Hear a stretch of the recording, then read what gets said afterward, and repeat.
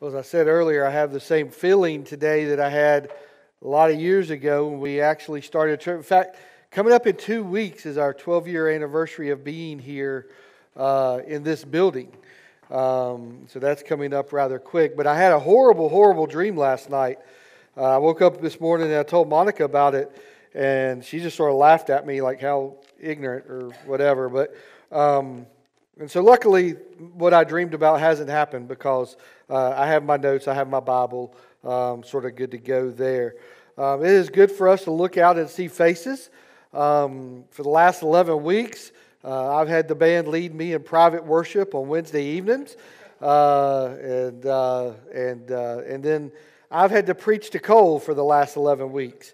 Uh, and he's not getting any better, so I don't know if he's not listening or or what, but uh, for the last 11 weeks on Thursdays, uh, I've been preaching to, preaching to Cole and uh, trying to get through to him. But we have seen 2020 sort of start off the year with the best economic numbers, employment numbers, and investment numbers that we have ever seen in the life of our country. Not just in the last few years of our country, but in the life of our country. But for the first time in my lifetime of 52 years, we have experienced something, the first thing I know of ever, that kept people from going to church, or even in fact had to have the church close its doors. Now, some of you in here are a little bit older, maybe you remember maybe other things, but I know that we have gone through wars, we have gone through protests, we have gone through terrorist attacks, we have gone through viruses and diseases and outbreaks, and never has the church shut its doors. I mean, when, when we've gone through wars, I mean, it's daddies and mamas and brothers and sisters and husbands and wives that, that have ran to the church to pray for the safe return of their loved one. When we've experienced protest of any kind, regardless of the topic, we have seen people run to the church to pray for peace and to pray um, for the protest and, and, and, those kinds of things. As we've uh, endured uh, terrorist attacks, both international, like uh, 9 11, and domestic terrorism, like Oklahoma City, people flooded the churches. People ran to the churches to pray for peace and to pray for safety and for families, and yes, even to pray for justice. All sorts of diseases and illnesses have come along in, in our long history of our country, and yet never did the church shut down. And the reality is, COVID is not our first virus, and it's not our worst virus. And people would run to the churches to pray for healing or protection or care. And it's sort of sad that these last 11 weeks, and I'm not even sure if, if that really registers with many of us, that it's really been almost three months since we've been here. But that the, it's sad that our doors have been shut, but it's really awesome that our hearts have remained open. Our hearts have remained open to God. Our hearts have remained open to each other. And I'm sure I will never hear all the stories of what has happened in the last 11 or 12 weeks of where maybe God told you to do something, or God told you to go help somebody, or God told you to go get the groceries for this person, and you obeyed what God had asked you to do and went and done it. I have to give a huge shout out to our elders. Um, most of them were in the first service, but I have to give a huge shout out to our elders who, for the last 11 or 12 weeks, uh, I know that I'm sure that when Dennis and Dan signed up, uh, they really didn't realize they were going to have to do all of this uh, that they've had to do in the last 11 or 12 weeks, but they have done daily devotionals. They have uh, called ch- families in our churches each week just to stay connected with them. And so they've done a great, great job in that. And it isn't like we've ever gone through this before, so we didn't have a blueprint or any of the answers ahead of time. And I have to give a shout out to Cole Duke uh, because for the last 11 or 12 weeks, uh, he really has been the MVP of getting the services online so that you could watch them at home. Uh, and it's really, God is just so smart because it was months ago when we actually brought Cole on. And when we brought Cole on, he didn't even know how to run the software that he is now using to do all of that. And one of the things we got him doing was learning that and, and, and talking to some folks on how to do that. And then, yet, the last 11 or 12 weeks, it have not been for Cole, we wouldn't have had anything to put online for us to stay connected. So he's done a great, great job with that. We've been doing a series on the parables of Jesus, and I really felt like as we were coming back together today that God did not want me to sort of just continue in that. So we're just going to take a break uh, from that series just for today because I felt like God wanted me to say some things to us as we begin to regather again as a church body, as a church fellowship. Now, I didn't know exactly what that was. Um, and God, you know, I, a lot of pastors wait till Saturday night to do their message for Sunday, and, and, and I'm just not that way. That just would drive me insane. And so I usually I have a series. I sort of know where we're going, but on Mondays I usually start planning my sermon for the week. And I told God, God, I'll say whatever you want me to say, but please, please don't wait till Saturday night to tell me what that is. And so Monday, I, I waited and nothing. Tuesday, I waited, nothing. Wednesday, I waited, went to lunch, nothing. And late Wednesday afternoon, God began to show me what I feel like He wants me to share today. And this is just a standalone message, it's just by itself. And you're probably going to say he seems sort of scatterbrained. And maybe you're right. But I really feel like this is what God wants me to share today as the church begins to gather back together as the fellowship of believers. So let me just start here in 2 Timothy chapter 1 and verse 7. 2 Timothy 1 and verse 7. It says, For God has not given us a spirit of fear and timidity, but of power, love, and self discipline. He has not given us a spirit of fear and timidity. Now, why has God not given us a spirit of fear and timidity? Well, Philippians chapter 1 sort of answers that question for, that question for us. In verse 21, Paul says, For me, living means living for Christ, and dying is even better. But if I live, I can do more fruitful work for Christ. So I really don't know which is better. I'm torn between the two desires. I long to go and be with Christ, which would be better for me, but for your sakes, it is better that I continue to live. You've heard me say many times that for the believer, for the follower, for the Christian, the, the worst that you experience on this earth is the worst that you will ever experience. And the best that you will ever experience in your life will not be experienced on this earth. But for the unbeliever, for the non Christian, you need to know that the best that you experience on this earth is the best that you will ever experience in your life. And the worst that you will ever experience is waiting beyond. But God did not give us a spirit of fear and timidity. What did He give us? He gave us a spirit of power, a spirit of love, and a spirit of self control or self discipline. I want you to write this down. If God wants to give it to you, Satan wants to snatch it from you. If God wants to give it to you, Satan wants to take it from you. 1 Peter 5 8 says, Stay alert. Watch out for your great enemy, the devil. He prowls around like a roaring lion, looking for someone to devour. You need to know that Satan is never on your side. He is never out for your best interest. He is not going to help guide you to better days. You may say, Well, Rick, but this feels so good. Rick, this feels so right. Rick, you just don't know what I'm experiencing right now. And the reality is, Satan may be leading you down the road, but you need to know that that road ends in destruction. His goal is to devour. His goal is never to build you up. His goal is never to encourage you. His goal is always to devour you.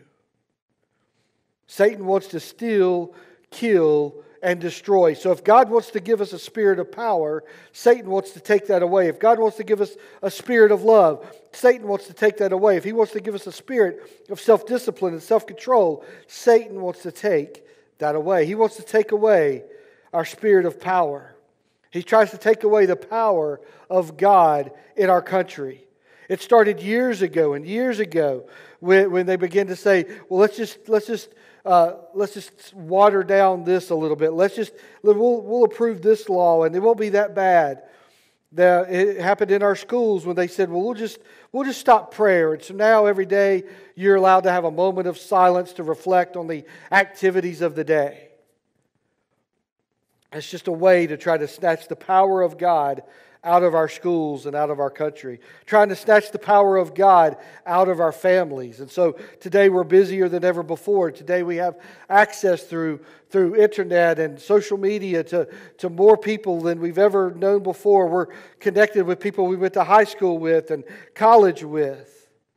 And yet, all the while, trying to just steal, kill, and destroy the power of God in our families, the power of authority in our home.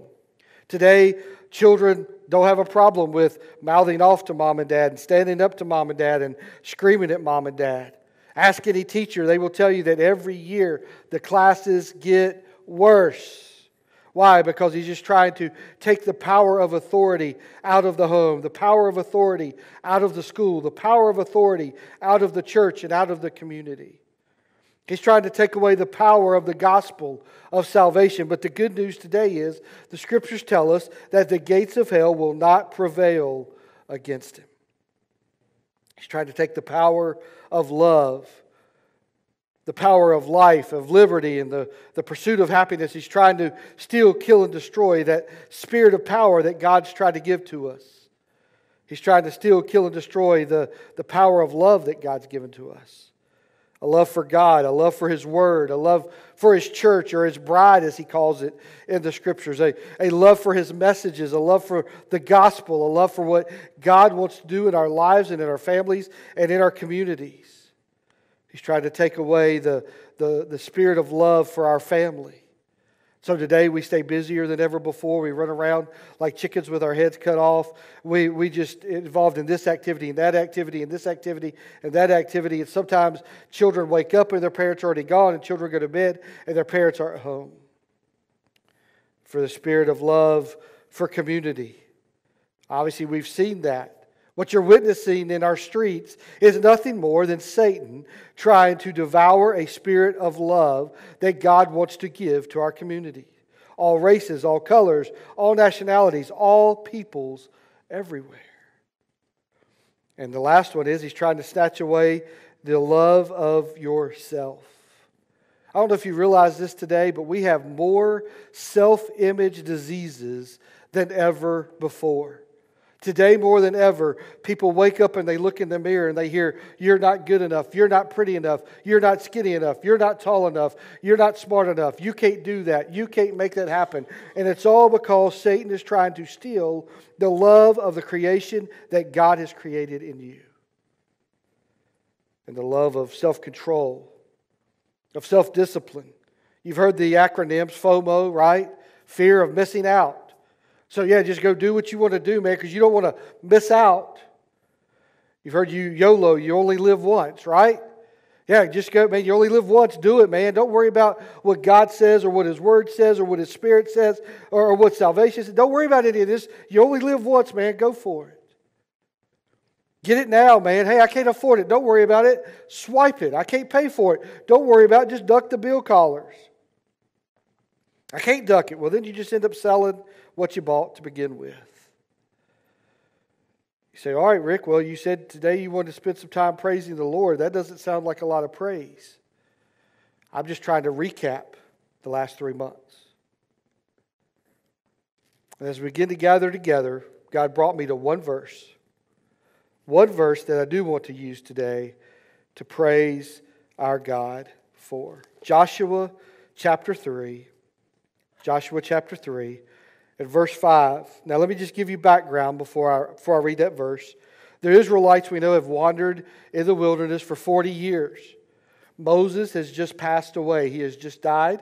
And Joshua has been appointed and anointed as the leader of Israel. Now, let me tell you why that is very important. Because when Moses died, Joshua said, You are now the leader of Israel. He was appointed, he was given the position as the leader of Israel. But he was also anointed, which means he was given the power of the leader of Israel. So Joshua was anointed. He was appointed as the leader of Israel. They've waited to go into the promised land. And, and the Lord has told Joshua, Get ready because tomorrow you're going in. And here is what Joshua tells the people. Verse 5 says Then Joshua told the people, Purify yourselves, for tomorrow the Lord will do great wonders among you. Purify yourselves, for tomorrow the Lord will do great wonders among you. There are three things out of this one verse that I want to say to us today as we begin to gather together back as the church. The first one is this purify yourself.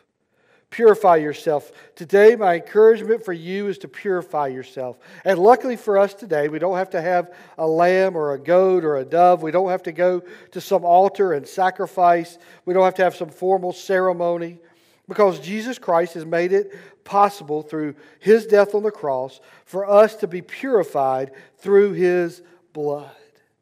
He died on the cross so that all of our sins might be forgiven, so that all of us might be found righteous. In, in, in, in, the Bible, it says, Confess your sins to him, and he is faithful and just to forgive you. And that's how we purify ourselves. I don't know what this last three months has been like for you. I don't know, maybe it's advanced your, your spiritual journey. Maybe it's really, you know, you're further today than you were three months ago. You've experienced some things through God that, that is just really incredible. But maybe, just maybe, you've regressed a little bit. Maybe you've sort of fallen into some bad habits. Maybe you've sort of slipped away. Maybe you spent all this three months in anxiety and worry rather than reliance on God. Whatever it might be, my encouragement to you is today to purify yourself. Purify yourself through Christ. The second thing he says there is for tomorrow. For tomorrow. Regardless of what has happened today, there's tomorrow. Regardless of what, what, have you, what you have to face today, there is tomorrow.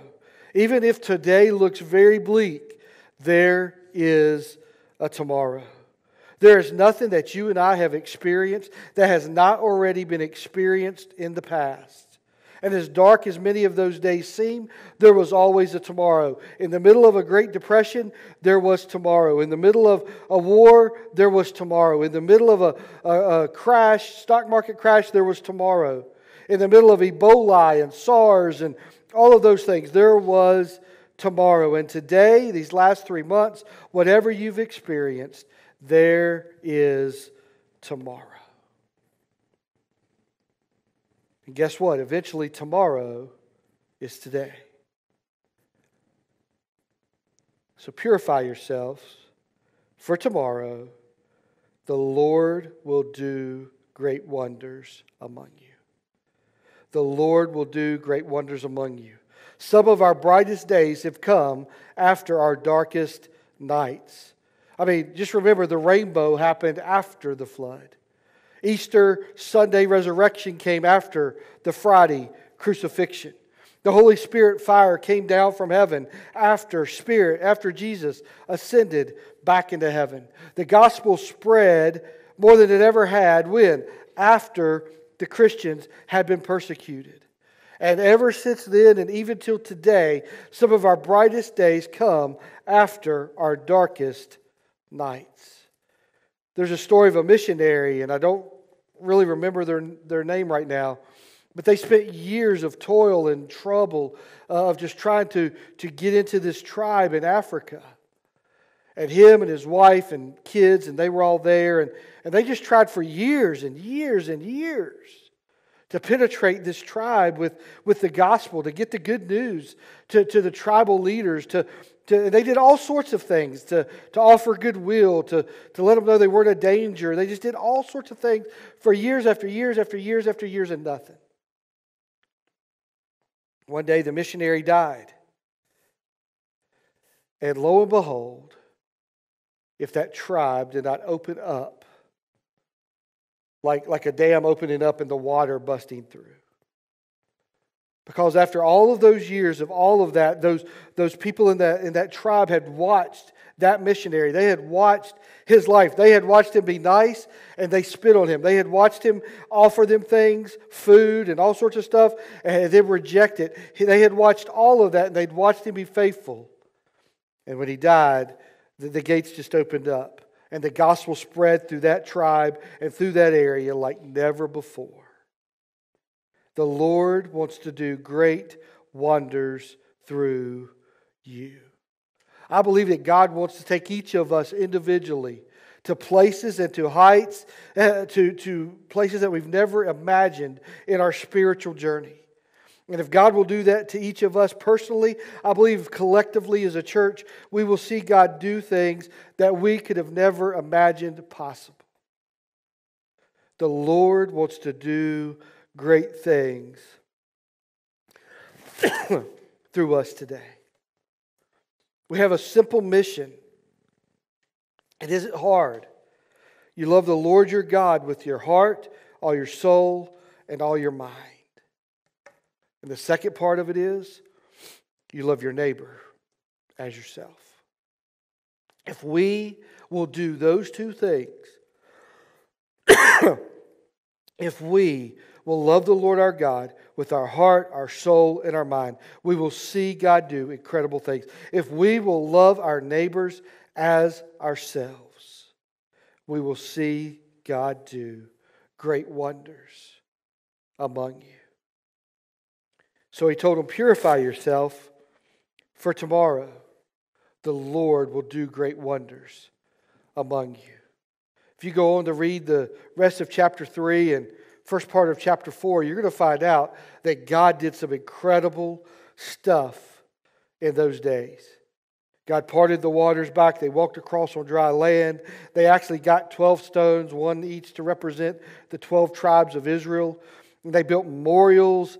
Uh, they built one outside the water. They actually built a memorial inside the water, uh, inside the river where God had, where the ark had stopped, where they crossed. And, and, and Joshua says to the people this in chapter 4. He said, he said, In the future, your children will ask, What do these stones mean? He says, Then you could tell them, This is where the Israelites crossed the Jordan on dry ground. For the Lord your God dried up the river right before your eyes, and he kept it dry until you were all across, just as he did at the Red Sea, when he dried it up until we had all crossed over. He did this so all the nations of the earth might know that the Lord's hand is powerful, and so you might fear the Lord your God forever. He did this so that the nations of the earth might know that the Lord's hand is powerful. So let me ask you, what are you going to tell your children and your grandchildren about these last three months? What are you going to tell your children and your grandchildren? See, I want to tell my children and grandchildren uh, of how the Lord protected many more from getting sick of the virus. I, I, want to tell my children and grandchildren how the Lord healed many of the people who actually caught the virus. I, I want to tell my children and grandchildren of how God sustained and undergirded the families of those who lost loved ones through this virus. I want to tell how the Lord sustained doctors and nurses and the police and the fire and rescue workers, how they worked 12 and 16 and 18 hour days and, and they worked 10, 12, 14 days in a row. But the Lord undergirded them and sustained them. I want to tell how God provided masks and ventilators and, yes, even toilet paper during these days. I want to tell of how God gave us peace in the middle of unrest when things were going crazy like any of us had never seen, God gave us peace. How He gave rest to the weary, how He shined light in the darkness. Now, I want you to get this how He took what was supposed to be a financial disaster in the month of May and how He turned it into the best giving month of the year in the life of our church. Only God can do that. God wants to do great things, and He did. I want to tell of how lost people came to know Christ in these last months. I want to, I want to be able to tell my children and grandchildren about vacation Bible school that was done in such an incredibly different way. And yet the seeds were planted and watered and harvested, and people, kids, came to know Christ. How Christians were undergirded, how the hurting were healed. The Bible says, I will sing of the Lord forever, for he has done great things. These last three months have been a time unlike any in most of our lives. And we have seen good and we have seen bad. We have seen faith built, we've seen it wane. We've seen Christians soar, we've seen some sputter. But the truth today is the Lord wants to do great things in you. So purify yourself for tomorrow. The Lord will do great things. Let's pray. Father God, I thank you for Joshua. And I thank you for Lord, his faithfulness, first of all, uh, to be your servant that you appointed and anointed, Father, to lead the people into the promised land. Father, I thank you that uh, he was part of that generation that saw you do incredible things.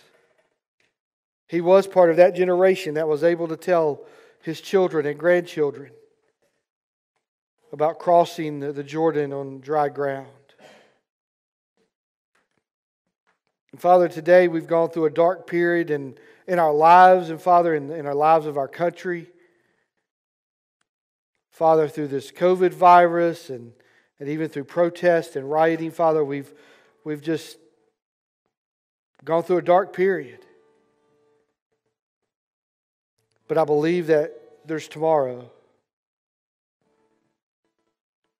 And I believe that you want to do great things through each of us individually. So, Father, help us today to purify ourselves, to prepare ourselves for the great work that you want to do. Help us to be the one that's willing to be the testimony of the voice of, of how you've done incredible things in our lives. And Father, help us today, tomorrow in the midst of still all this madness, to be able to say, He has done great things. Father, I thank you for that today. It's in Jesus' name we pray. Amen. Amen. We're going to stand and Tucker and then we're going to lead us through one final song before we dismiss. And, as he does, just contemplate that thought. Today, are you willing to and step out to purify yourself, to let God forgive you of your sins, to let God come and put His Spirit inside of you and change your life, to change your direction, to change everything about your future. And are you willing to say tomorrow, God's going to do some great things?